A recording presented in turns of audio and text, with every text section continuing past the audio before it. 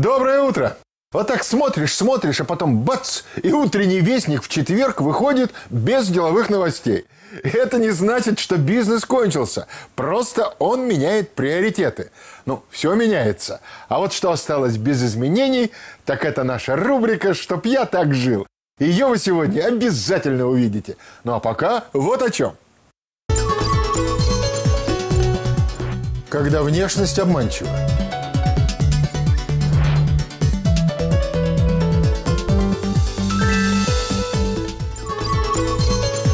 Кредитной карты нет, а долг все равно есть.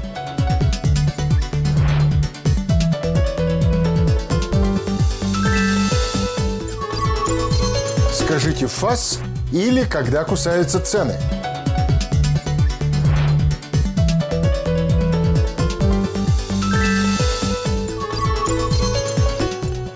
Достал спам? Как достать спамера?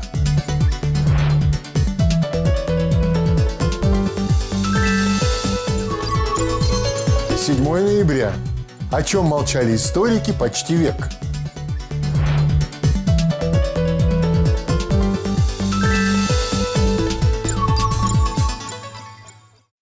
Оказывается, половина россиян хотят вернуть праздник 7 ноября. Такие выводы можно сделать из опроса, проведенного фондом «Общественное мнение». Но, собственно, чему тут удивляться?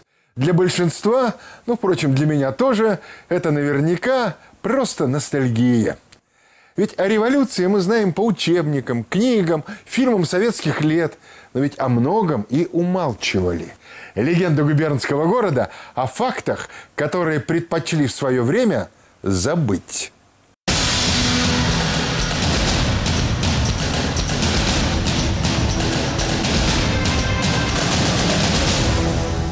Партнер рубрики «Легенды губернского города» – «Окна Алекс». 1917 год, ноябрь, Пермь. И несколько фактов, о которых предпочли забыть в советские времена. Начнем с того, что свободу некоторые поняли весьма своеобразно. Ровно через неделю после того, как в нашем городе было получено известие о свержении Временного правительства, о захвате власти большевиками, в Перми начался так называемый «пьяный погром». Толпы штурмовали винные и пивные склады со всеми вытекающими отсюда последствиями. Появились листовки с призывами к еврейскому погрому. Ваханалия продолжалась более двух суток. Порядок удалось восстановить с огромным трудом с помощью вооруженных отрядов рабочих Мотовилихинского и Леснеровского заводов. Последний стал впоследствии именоваться заводом имени Дзержинского. В середине месяца в Перми прошли выборы в учредительное собрание. Больше всего голосов собрали большевики, но только 26,9%. На 1% меньше пермяков проголосовали за кадетов. Более 22,5% горожан поддержали эсеров. Как видите, ни о какой всенародной поддержке большевиков и речи не было. Тем более, что за ней голосовали в основном солдаты пермского гарнизона. Причем именно служивые стали зачинщиками того самого пьяного погрома. Вот тебе и стороннички новой власти. А учредительное собрание, не получив в нем большинства, ленинца товарищи разогнали. Помните, как умилялись фразой матроса Железняка, заявившего депутатам? Караул устал ждать, очистить помещение. Слову, Железняк был анархистом и, отправившись на гражданскую войну, погиб при туманных обстоятельствах. А власть в Перми большевикам удалось захватить после того, как они добились перевыборов городского совета рабочих солдатских депутатов и объединения его с советом завода Балашова и Мотовилихинского завода. Ведь там-то народ горой стоял за РСДРП. Вот только некоторые факты, о которых в советские времена не распространялись. Никита Чернов, Роман Мельничук, телекомпания «Ветта».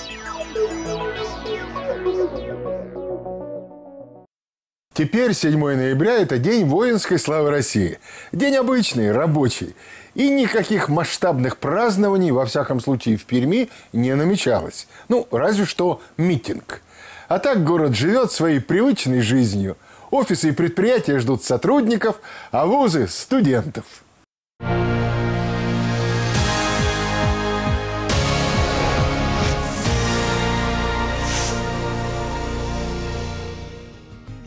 сказал, что в Пермском кампусе Высшей школы экономики учатся только пермяки? А вот и нет. Мы только что познакомились с ребятами из Глазова. Представляете, все они приехали сюда из одной гимназии и даже учились в одном классе. Но теперь выбрали разные специальности. Я будущий менеджер. А я юрист. Ребята, если не секрет, какое расстояние разделяет Пермь и Глазов? Четыре с половиной часа, поэтому мы временно переселились сюда. Оказывается, наши герои хотели учиться именно здесь, а в высшей школе экономики они узнали уже давно, услышали от старших товарищей, выпускников родной гимназии. Говорят, в прошлом году сюда поступила из Глазова пара-тройка человек, а теперь приехала целая делегация. Их часто можно увидеть вместе, даже в библиотеке.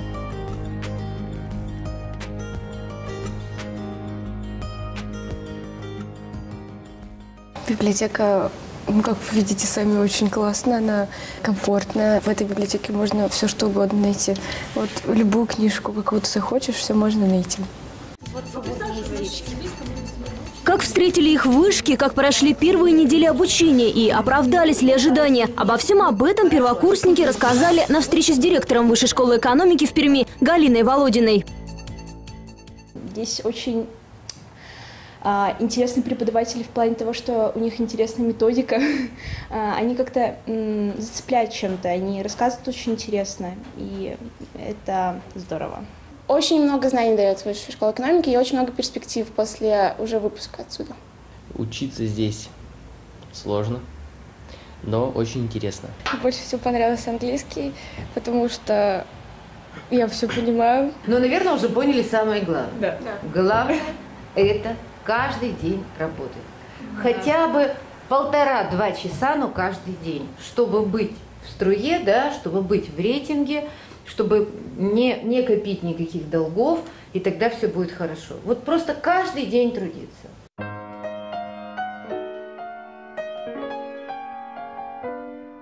К иногородним студентам здесь относятся с особым вниманием, ведь когда ты далеко от дома, так важно, кто тебя окружает, да и вообще обстановка. Она должна быть домашней. В Высшей школе экономики все студенты, приехавшие из других городов, получают место в студенческом общежитии.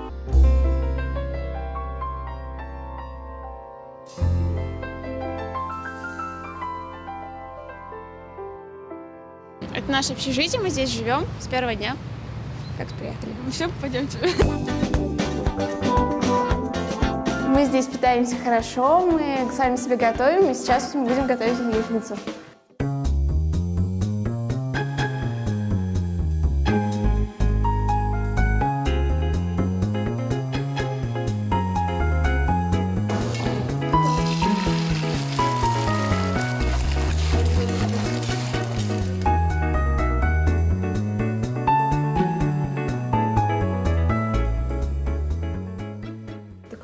Хорошая общага. И, ну, как бы всего много. Вот у нас некоторые рассказывают, что, например, один душ на все общежитие. Или там, или что очереди огромные стоят на кухне. У нас такого нет. У нас нет ни очереди ни на кухню, ни в душ.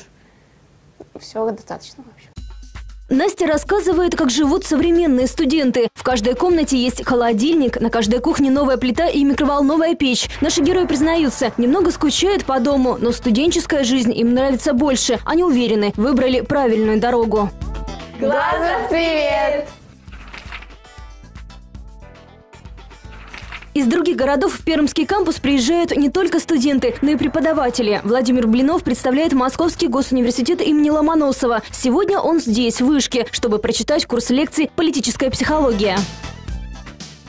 Про Пермскую вышку я слышал достаточно много и от московских коллег, что это динамично развивающийся филиал, то, что здесь очень активно ведутся программы образовательные. Понравилось, вот, и я решил начать сотрудничать. Вышка нон-фикшн. Пять мифов об учебе в вышке. Оказывается, есть пять мифов о высшей школе экономики. Один из них, мол, в вышке говорят только на английском языке. Но это не так. О кафедре иностранных языков смотрите в следующем выпуске. До встречи!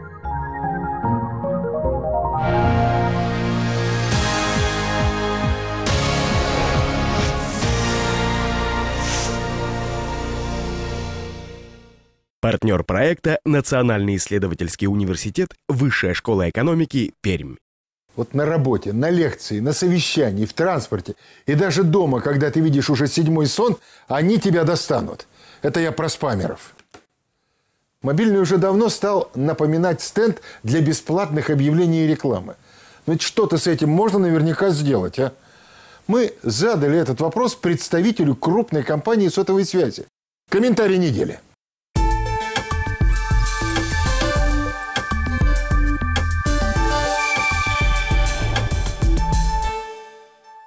Мы закончили монтаж оборудования специальной платформы, которая анализирует все эти смс-рассылки и э, значит, выявляет и блокирует вот различные смс-спам. Вот. А в этом же, конечно, могут поучаствовать и абоненты. То есть, если вы считаете, что данная смс, которая вам пришла, это спам, вы можете сообщить э, любым доступным способом, то есть, либо позвонить в колл-центр вот, э, и сообщить об этом э, смс и с какого номера она пришла. Вот, эта информация будет внесена на платформу, проанализирована, и действительно, если это смс-спам, они будут в дальнейшем там блокироваться. Сеть четвертого поколения – это высокоскоростной мобильный интернет – который на сегодняшний день технология позволяет а, пользоваться скоростью мобильного интернета до 50 мегабит в секунду. Вот. В дальнейшем при развитии сети эти скорости будут еще расти там, до 100 мегабит в секунду и, и выше. Вот. На сегодняшний день э, тестирование показывает в Перми, что средняя скорость 20-30 мегабит в секунду. Для того, чтобы подключиться э, к сети четвертого поколения, для этого необходима сим-карта, так называемая USIM, которая поддерживает стандарт 4G. Вот. Но в Перми мы на самом деле эти сим-карты уже доступны горожанам с начала этого года, поэтому кто подключался не так давно, у них уже эти сим-карты поддерживают сеть четвертого поколения. И достаточно воспользоваться только устройствами, которые поддерживают сеть 4G.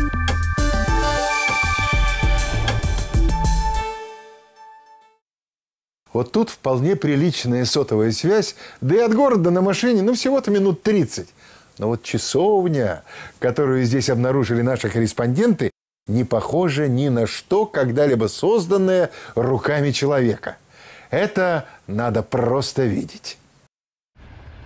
Александра Патокина в поселке знают все. Можно сказать, местная знаменитость. Неудивительно, ведь под окнами дома у него стоит своя собственная церковь. Очень необычная. С первого взгляда напоминающая космический корабль. Такое количество куполов вы не найдете ни на одном храме. Из книг знал я, что раньше были случаи, когда имели люди свои приходские небольшие церкви. Поэтому так и я решил сделать. Началось с того, что подвернулись купола, достал, а потом уже стал искать им применение. Ну и построил для своей семьи. Все материалы для строительства Александр Маркелович закупал сам. Спонсоров не казалось, желающих помочь тоже. Например, купола на церкви – это обычные светильники для рассады, которые используются в теплицах. Я считаю, что причуда, да. Если, в принципе, до ума довести, так может нормально будет что-то до ума довести. Так. Но много работы надо с ней, конечно. Никто не помогает, все на свои деньги. Строительство началось еще в 2001 году и до сих пор продолжается. Все дело в том, что материалы стоят недешево. Есть и другая проблема. Земля, на которой стоит часовня, муниципальная, и поэтому постройка считается незаконной. Да и разрешение церковной епархии требуется. Частично тогда у меня приезжал тут из Лобанова. Посвящал как бы место. Ну и, конечно, не до конца оформлено. Главное, что земля под ней не оформлена, поэтому ее надо переносить и делать выше, красивее, естественно. Здесь уже вот надо было аккуратно большой крест вырезать, надо переносить на этой стене.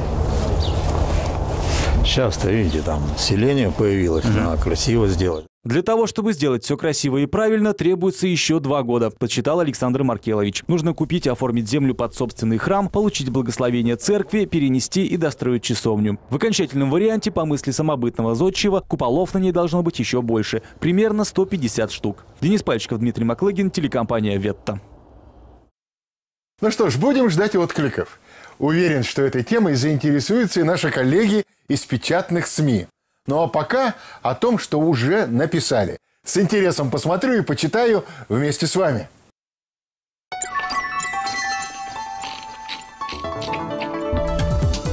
Партнер рубрики «Пресс-парад» – сеть магазинов «Мир домашней техники». Мы сталкиваемся с приватизацией общественного пространства. В администрации Перми прошли публичные слушания по внесению изменений в генплан города. Читаем в электронной версии еженедельника «Новый компаньон». Эксперты назвали предлагаемое строительство подземного торгового центра на Эспланаде, в связи с чем и предлагается изменение зонирования этой территории на общественно-деловую зону торжеством бесцельных технологий. Изменение зонирования эспланады приведет к отделению некоторых групп жителей от использования этой территории. Впрочем, звучали и мнения о том, что население города не гордится эспланадой. И согласно статистике, более 70% пермяков считают эту площадку непригодной для жизни.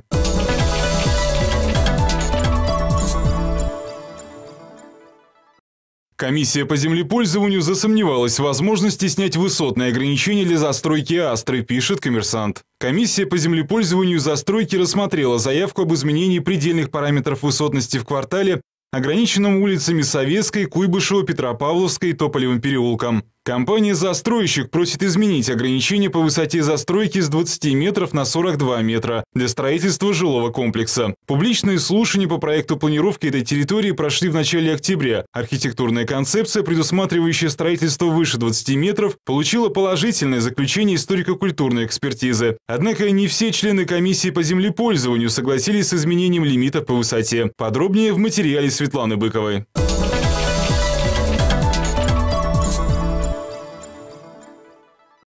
Точка принятия решения. Статью под таким заголовком читаем в еженедельнике «Аргументы недели». Дискуссии вокруг переноса коллекции Пермской художественной галереи из здания Спасо-Преображенского кафедрального собора продолжаются не первый год. Однако никакого четкого решения до сих пор не сформулировано. А тем временем на самую большую региональную экспозицию уже засматривается столица, пишет автор статьи Юлия Андреева. Вся коллекция Пермской галереи – федеральная собственность. Это подтверждает и искусствовед Александр Севастьянов.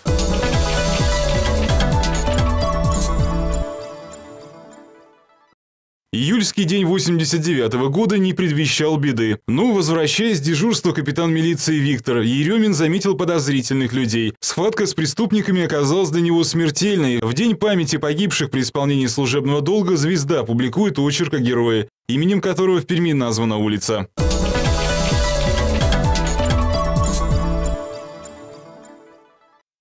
Почти на 2 миллиарда рублей похудеет краевой бюджет между первым и вторым чтением. Об этом мы рассказали накануне в пресс-параде. И, как всегда, от чего-то придется отказываться. А вот в какой сфере расходы краевой казны сокращать нельзя? Об этом мы спросили пермяков. Все-таки бюджет – это налоги, которые мы с вами исправно платим. И вот что люди говорят –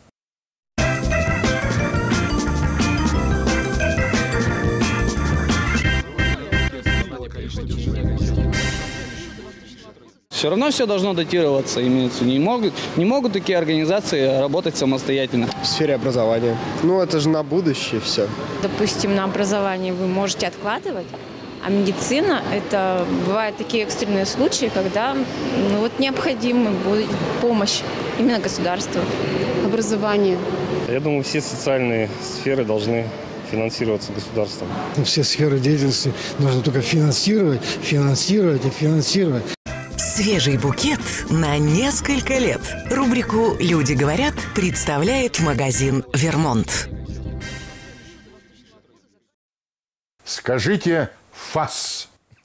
Да нет, нет, это я не про собак.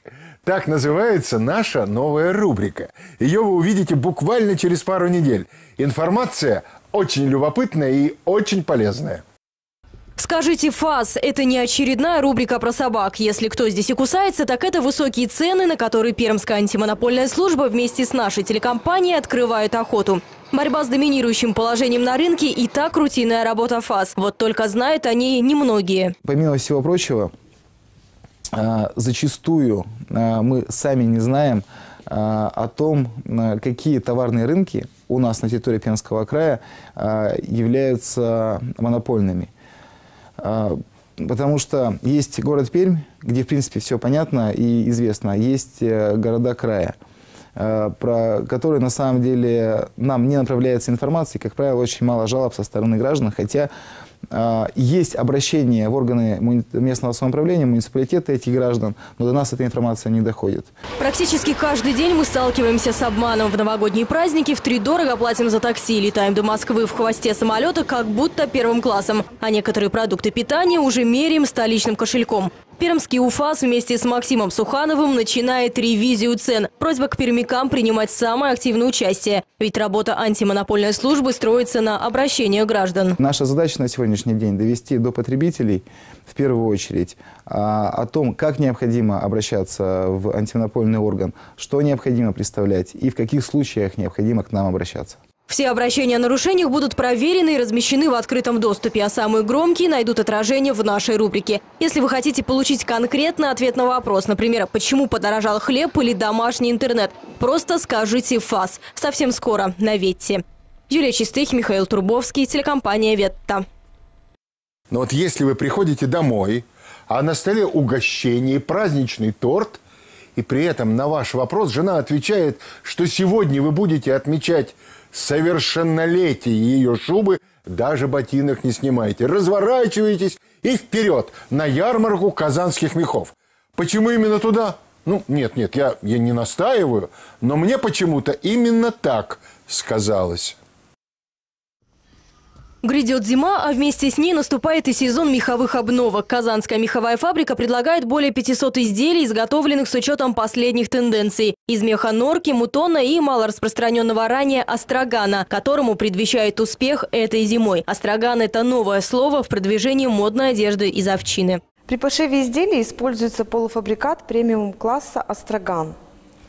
Она бархатистая на ощупь, прекрасно драпируется, великолепно садится по фигуре.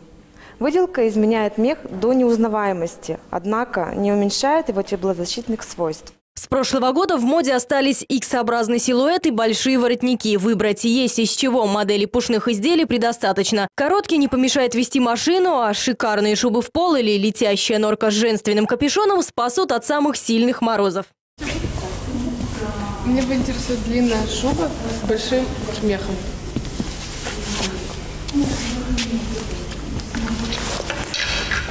Качество всей пушнины различается. Это касается как самих материалов, так и технологий их выделки. Меховые фабрики идут в ногу с прогрессом и используют новейшие способы обработки, позволяющие шубки сохранить форму и блеск в любую погоду. Фабрика «Арктика» использует итальянские лекала, но адаптирует их под особенности телосложения российских женщин. Поэтому наши размеры соответствуют общепринятым стандартам. Оценить качество российского меха можно в ДК Гагарина. Выставка продлится до 20 декабря. Юлия Чистых, Олеся Галибус, Дмитрий Маклыгин, телекомпания «Ветта». Вот главное, кредитку не доверять никому. Но вот жене можно. Она ведь ничего бесполезного не купит. К тому же она инстинктивно все несет в дом. Но вот сейчас еще поподробнее узнаем, а что будет, если кто-то кредитку просто потеряет –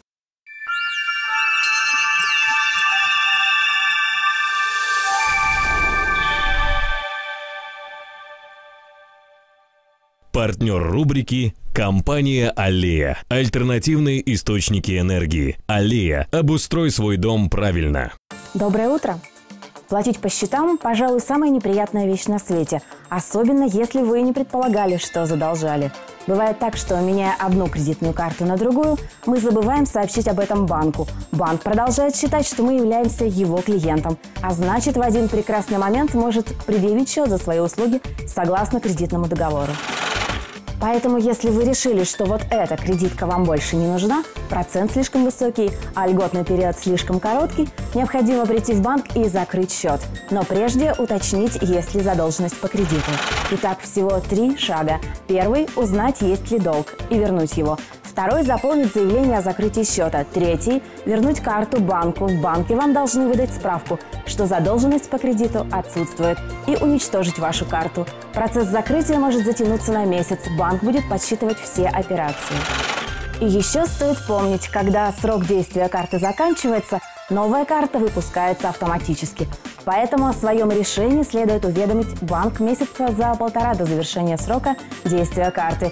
Иначе вас может ожидать штраф за то, что вы не воспользовались новой кредиткой. Вовремя расставайтесь со старыми обязательствами. Это были правила денег.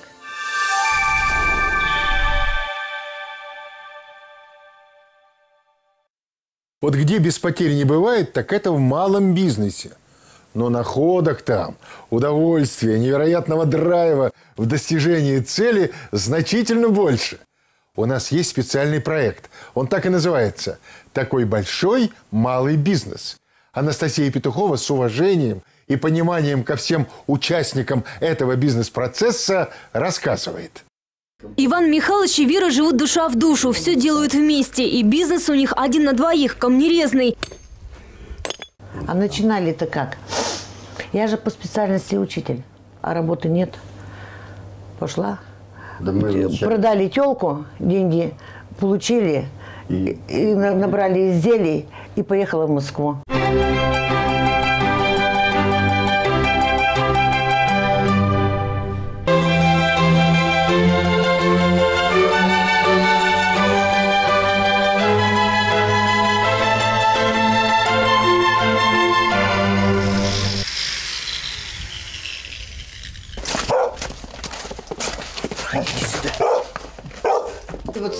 В прошлом учитель физики, в 90-е стала, так сказать, торговым представителем. Мастеров красного и сыла прославила на всю страну. Поделки вместе с мужем привозила в Москву, Санкт-Петербург, даже во Владивосток и Новый Уренгой. Работы наших камнерезов покупатели до сих пор ценят высоко. Вот только каждый раз удивляются, узнав, что фигурки из селенита изготавливают в бане.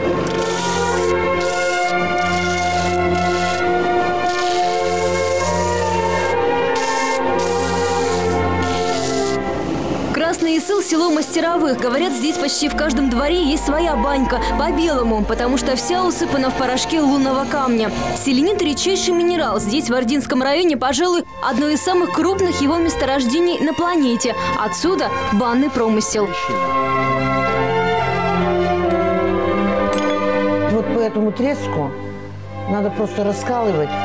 Вот видите, сколько получится? Один, два, три, четыре, пять, шесть, семь, восемь, девять, десять. Десять камушков получится. Вот десять изделий из него можно сделать, из этого камня. Вот видите, здесь полосочка. Вот вот, вот это корешок. Вот с корешка он растет. Не 10 лет надо, не 20, не 30, не 40. А это столетие. Может, может быть, лет 500, 600.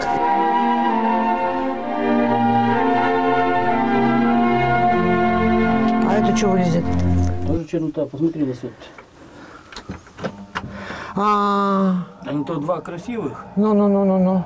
Ну, это мы сделаем тут э, с разрисовкой. Ладно, это тоже вот тогда сделай. Вот это сделай и другой сделаем вечером. А Работы порой так много, что приходится подтягивать в мастерскую камнерезов односельчан. Константин почти каждый вечер приходит помогать. Понимаете разницу между художником и резчиком? Художник – это человек, который, говоря по-русски, шизует, выдумывает. Сделал там за месяц два-три изделия, все. Я вот не художник. Ну, я резчик. Так.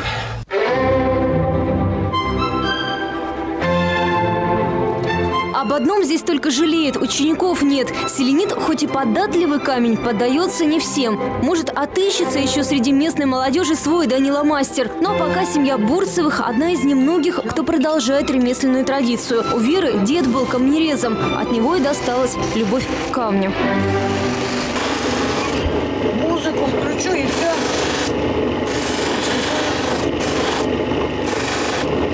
По 300, по 200 штук за ночь. А потом ведь еще нужно полировать. Когда я не стала работать в школе, тогда ведь это тяжело жилось. Вот. Все. Работать стали. А если вот я так сейчас думаю, если бы не работали, как бы жили? Что не делается, то к лучшему. Я это нисколько не жалею. Я, во-первых, всю страну объездила. Что я, что муж. Вот. Во-вторых. Вот такой большой малый бизнес. Бурцевы объехали всю страну и каждый раз возвращались в родное село. Вера говорит, даже если бы предложили уехать за границу, все равно бы осталась в Красном Ясыле. Во-первых, есть сосед Савелий, которого семья полюбила как родного внука и помогает воспитывать. А во-вторых, здесь еще очень многое надо сделать. Вера Степановна помогала нашему священнику составлять эти документы, чтобы выиграть гранты на восстановление храма. Ну что, по-моему, два раза выиграли. Деньги выдали. Вот они крышу перекрывали, там внутри что-то делали. Так что, ну, общественная работа, как говорится. Мне нравятся старинные храмы. Но ведь единственное здание в Ясыле, что вот такое здание старинное, и как его это, в негодности, чтобы оно ушло в небытие. Нет, надо это сделать. Помогать и никогда не отказывать в помощи – черта национального характера. То, что удивляет иностранцев и заставляет нас гордиться за земляков. Традиция, которая повелась со времен Строгановых, близка и нашим героям. Если ты промышленник или предприниматель, то еще и меценат и попечитель. Иначе и быть не может. Программа создана при поддержке Министерства промышленности, предпринимательства и торговли Пермского края. До чего же обманчива внешность этой небольшой темпераментной собачки с оригинальной прической. Выглядит Кэрри Блютерьер как плюшевая игрушка с такими глазами-бусинками.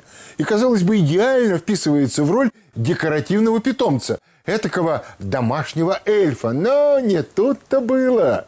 Прямо сейчас рубрика «Чтоб я так жил». Что у нас на завтрак? Как воспитать породу? Как приручить хозяина? И, наконец, кто на кого похож? В рубрике «Чтоб я так жил».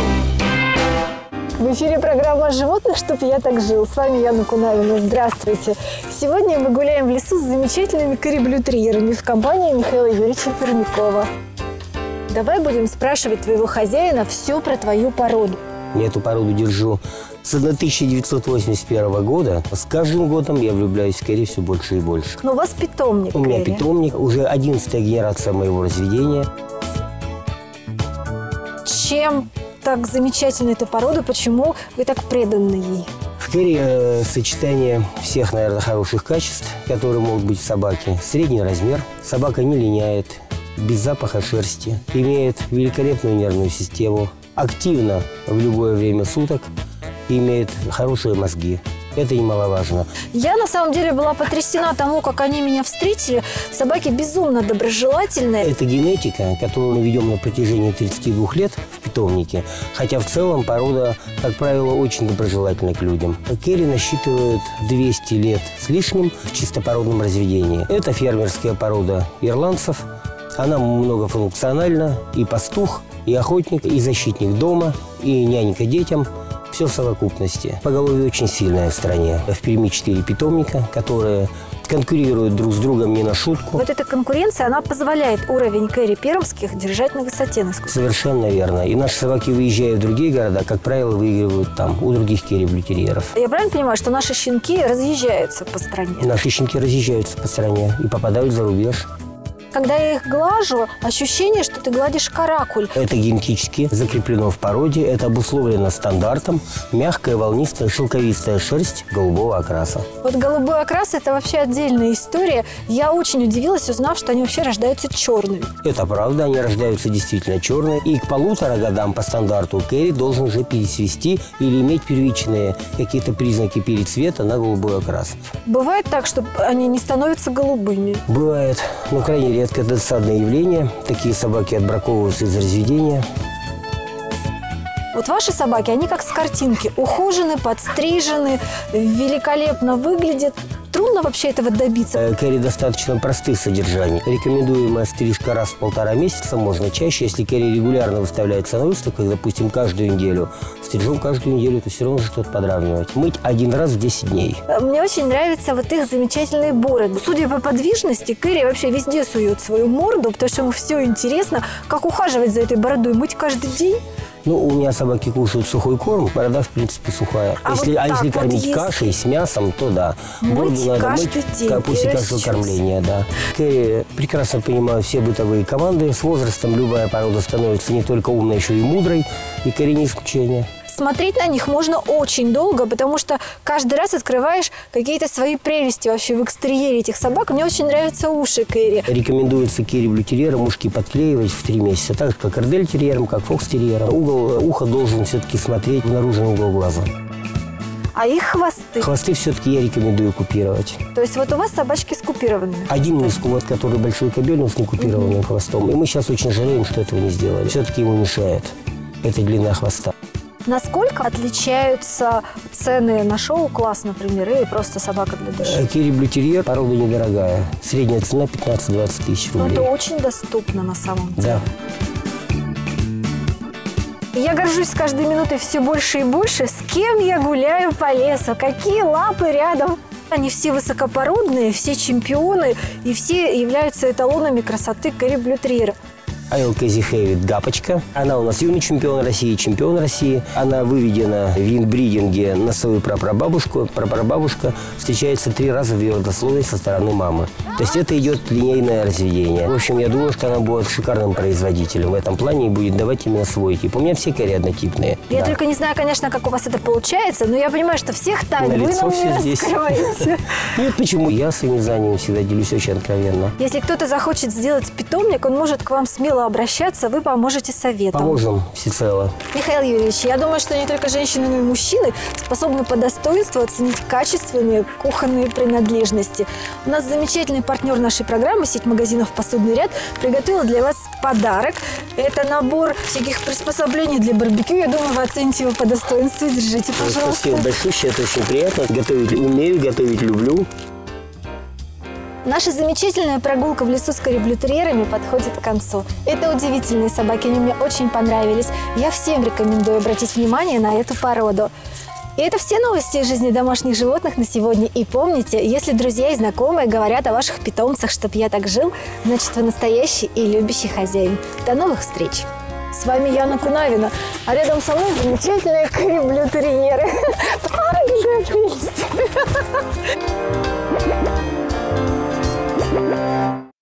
Вот даже для того, чтобы купить собаку, нужны не маленькие деньги.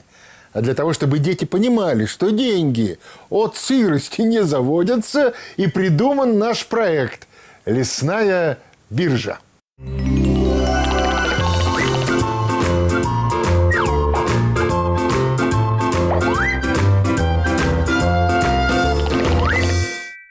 Здравствуйте. Всем привет с лесной биржи.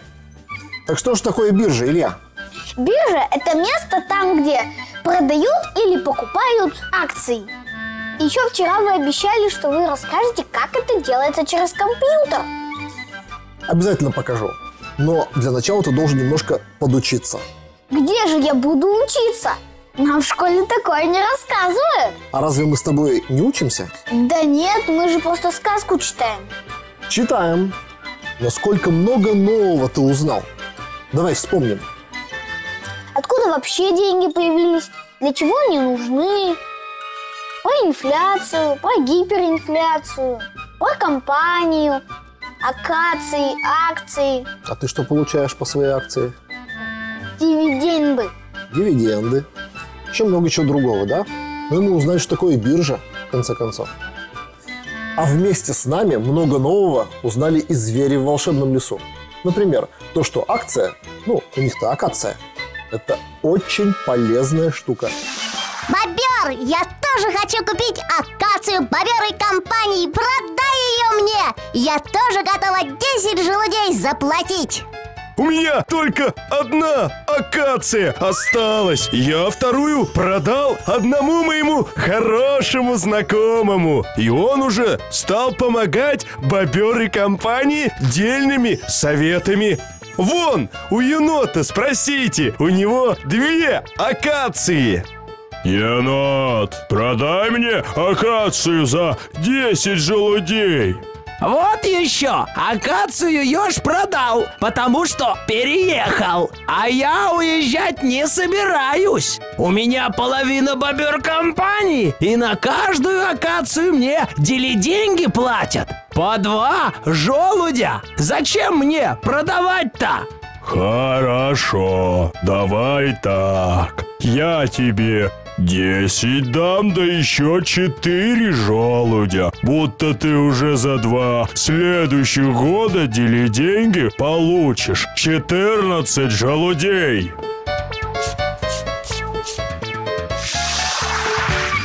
Как вы считаете, ребята, интересное предложение получил енот? Стоит ему продать акацию боберы компании за 14 желудей? Как ты считаешь, Илья? Да. Эх, давай, медведь, за 15 желудей, чтобы число красивое получилось. И медведь у енота купил акацию за 15 желудей? Да, купил. Ура! Теперь моя акация стоит 15 желудей, а ведь еще вчера она стоила 10.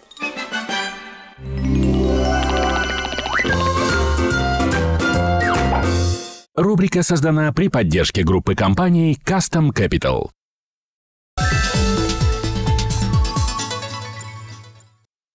Осень – самое тяжелое время для пермяков, так утверждают психологи.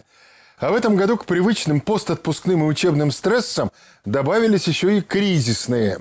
Все больше обращений связано с потерей работы и семейными конфликтами из-за отсутствия денег.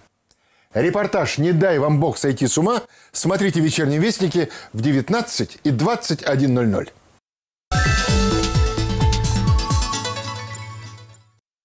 Вот если вы понимаете, что вам в жизни не хватает перца, соли и чего-нибудь такого остренького, а врачи говорят «ни-ни», не отчаивайтесь, вы всегда можете влюбиться. Погода шепчет. Об эту пору, взяв любимую за руку, хорошо гулять в парке и думать о том, что все проходит и только чувства вечные.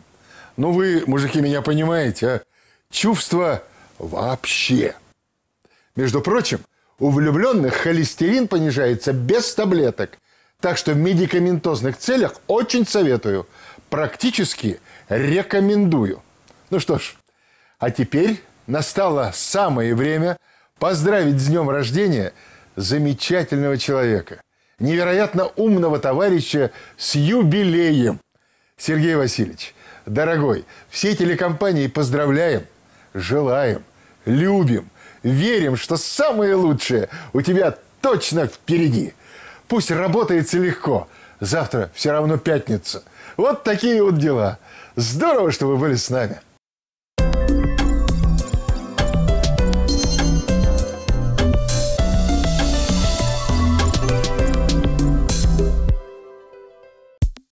Ну что, сегодня в Пермь вернулась бабье лето. Температура воздуха плюс 9-10 градусов. Облачно, но без осадков. Атмосферное давление выше нормы, ветер юго-западный 3-5 метров в секунду.